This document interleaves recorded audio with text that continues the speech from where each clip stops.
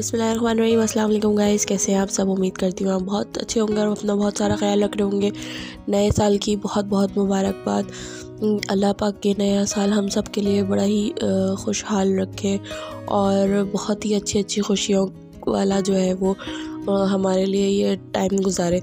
आज मैं बनाने लगी हूँ चिकन यखनी पुलाव, जो कि बिरयानी के बाद मेरा बहुत अच्छा और बहुत ही मोस्ट फेवरेट पुलाव है। अच्छा जी यहाँ पुलाव के लिए मैं यखनी बनाने लगी हूँ। यखनी के लिए मैंने यहाँ पर तकरीबन चार से पाँच कप पानी लिया है। पानी में मैंने एक से दो दरमियानी साइज़ की जो प्याज होती है वो स्लाइस करके डाली है और उसके बाद मैं इसमें डाल रही हूँ डेढ़ किलो चिकन अच्छा चावल मैं इसमें डेढ़ किलो ले रही हूँ तो डेढ़ किलो ही चिकन ले रही हूँ। आप इसमें चिकन कम भी कर सकते हैं, लेकिन वैसा अगर डेढ़ से दो किलो की चिकन हो तो चावल सही होगी और सबको, क्योंकि पुलाव में और तो कुछ होता नहीं है, जैसे बिरयानी में आलू हो जाता है। अच्छा यहाँ पे मैंने पुलाव का मसाला तैयार किया था, जिसमें मैंने टू टेबल स्पून नमक टू टेबल स्पून सौफ, साबुत धनिया one tablespoon two table spoon काली मिर्ची वन टेबल स्पून ज़ीरा वन वन से टू टेबल स्पून जो है वो मैंने अदरक लहसुन का पेस्ट लाल मिर्च पिसी हुई वन टेबल स्पून दालचीनी दो, से तीन जो डंडियाँ होती हैं इलायची आप डालिएगा इसमें तकरीबन दो से तीन। लौंग डाली है मैंने चार से छः काला ज़ीरा वन टेबल स्पून तेज़ पत्ता दो से चार। अब मैं यहाँ पे चावल बनाने लगी हूँ। चावल के लिए मैंने पहले प्याज तलनी होगी। प्याज अच्छा तली हुई होनी चाहिए। इसमें मैंने तकरीबन तीन चार से पाँच दरमियानी प्याज ली थी।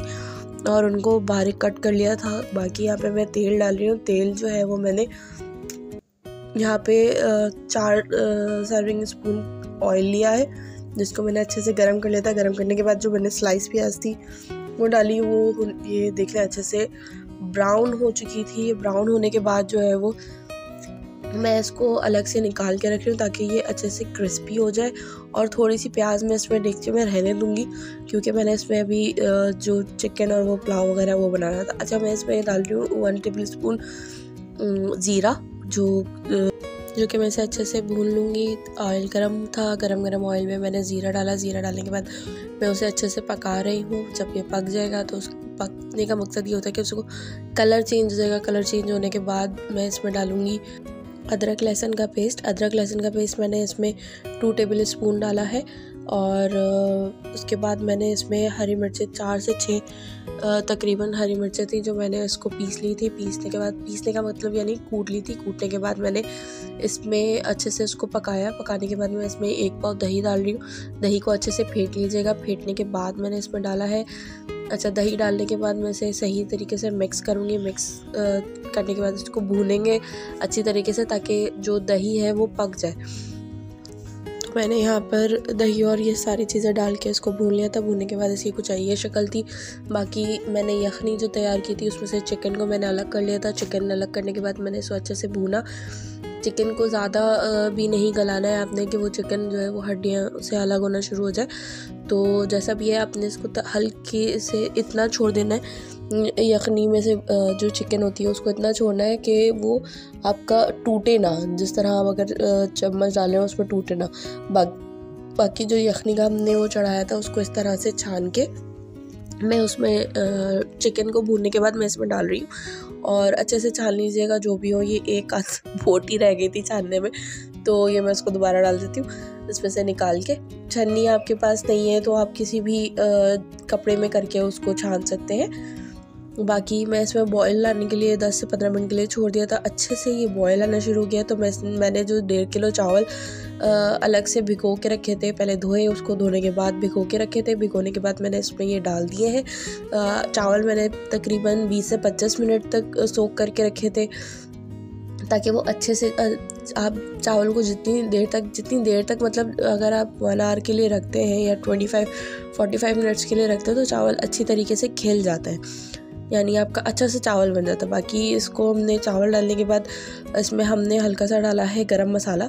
गरम मसाला डाल, गरम मसाला तकरीबन मैंने इसमें टू टेबल स्पून डाला था। अगर आप ज़्यादा खाते हैं तो वैसे तो टू टेबल स्पून इनफ है। पुलाव के लिए आप हरे मिर्चे अगर मिर्चें ज़्यादा खाते हैं तो आप मिर्चों की जो क्वांटिटी है वो बढ़ा लीजिएगा। इसमें मैंने डाला सूखा पुदीना। पुदीना हम सुखा के रख लेते हैं, उसको आप जैसे ही आप निकालेंगे ना, पानी में सोख करके रख लीजिएगा, फिर उसको छान के डाल दीजिएगा। सूखा पुदीना हम इस तरह यूज़ करते हैं। बाकी मैंने इसको तकरीबन रख दिया था ट्वेंटी फाइव मिनट्स के लिए। ऊपर से मैंने इसमें नमक डाला, वैसे नमक मैंने मसाले में डाल चुकी थी। नमक मैंने वन टेबल स्पून डाल दिया था इसमें, क्योंकि मुझे कम लग रहा था। बाकी मैं यहाँ धनिया काट रही हूँ। धनिया काटने के बाद मैं इसको मिक्स करूँगी। मिक्स करने के बाद मैंने तकरीबन इसे 25 मिनट्स के लिए रख दिया था। अच्छे से बॉयल आया उसमें। बॉयल आने के बाद इसमें मैंने आँच हल्की कर दी थी। और हमारा गर्मा गर्म पुलाव तैयार है। आपको रेसिपी पसंद आई हो तो प्लीज़ लाइक शेयर सब्सक्राइब ज़रूर कीजिएगा मेरे चैनल को सपोर्ट करने के लिए। थैंक यू सो मच आप लोगों का इतना प्यार देने के लिए कि इतनी जल्दी मेरे सब्सक्राइबर बढ़ाए और इतना सब कुछ जो है वो मेरा, मुझे सपोर्ट किया। और रेसिपी बिल्कुल ट्राई कीजिएगा, ज़रूर ट्राई कीजिएगा और कमेंट बॉक्स में ज़रूर बताइएगा कि किस तरह बनी है और आप लोगों ने ट्राई की है नहीं की। मुझे इजाज़त दीजिए। अल्लाह हाफ़िज़।